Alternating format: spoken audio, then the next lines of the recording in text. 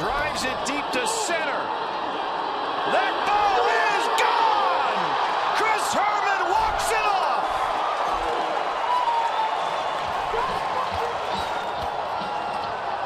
The first career walk-off for the Herminator. And the Diamondbacks sweep the Mets. You were just a little early in your prediction. You said Chris Herrmann looked very hitterish today.